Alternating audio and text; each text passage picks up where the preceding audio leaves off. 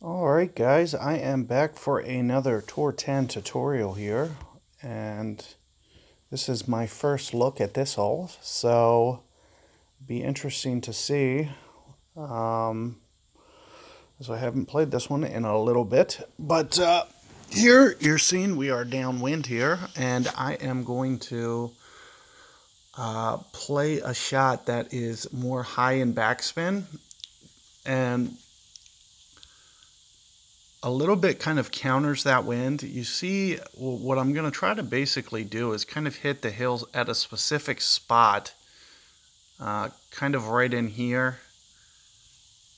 And as you can see, this is the one time, now it looks like it's going to come up short, but uh, with that little, with that extra wind, it's going to push it more towards the hole than as shown. So here you're going to see me play roughly nah, 10 rings here. And just play this wind straight up for the most part. And what the spin's going to do is it's going to make it come in a lot slower than, uh, and here you're just kind of seeing it. And what that does is it lets it check up to the hole. Here you're seeing 1.44.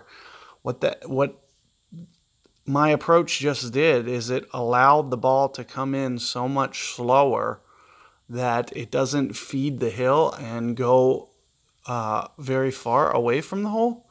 So you're seeing it just more die on the hole and be so low on the hill that it just has nowhere to go, that it just stays tight in the hole.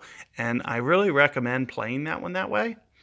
Um, so you can find similar um, results as just getting it to come in very slowly. And uh, in terms of a ring adjustment, I like to play about 1.1 per ring on that hole.